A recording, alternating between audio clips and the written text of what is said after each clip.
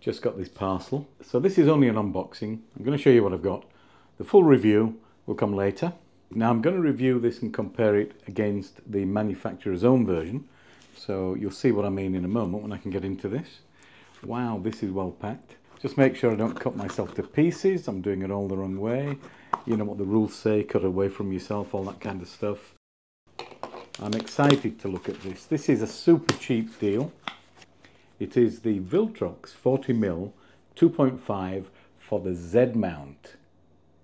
How cool is that? Right, let's have a look. So that's a really tiny box as you can see. So that comes out nice and easily. Uh, oh, it is sealed, so security seal. So nobody else has had that, that's good. Let's get into this.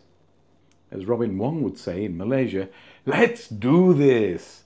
Uh, he's such a cheerful guy, that guy. Honestly, I, I don't think I've seen anyone on YouTube, any photographer at least, as cheerful as he is. So now we're getting into this. I hate this tape. Why do they put so much nonsense? Oh, there's two. Okay, let's do it again. Warranty card, instructions. Don't think we need instructions with a lens, do we? Okay, so we get, I'm sure that's the normal case, yeah, desiccant silica gel, a little bit of paper certificate, it's been quality checked, cool. Give me the lens, come on, where's the lens? I want to be careful, I don't want to drop the thing. Okay, so the Viltrox lenses that they're doing at the moment, there's some super cheap deals, affordable shall we say. So here is the uh, 40 mil 2.5Z. Look, you see the size? Let's have a look. Really tiny front element. And I think it's a 52 mil. Yep, 52 mil. So I have the 20 mil. That also has 52 mil thread.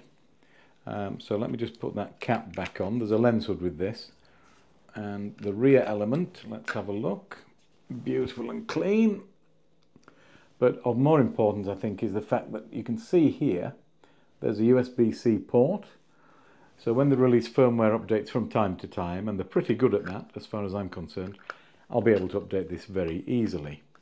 So very lightweight, not super, super lightweight. It actually feels not chunky, but you know, a decent quality build. No aperture ring, um, focusing ring.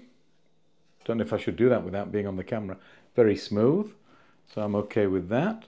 I can't wait to try this. Now, I did say I'll be testing this against the original Nikon 40mm. So I'm going to do a shootout of the two and just compare them.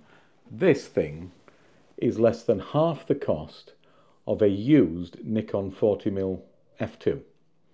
So I think it's great value for money if it's anywhere near as good as the Nikon. So please do keep watching. Uh, if you have any questions before I make that review video, let me know in the comments.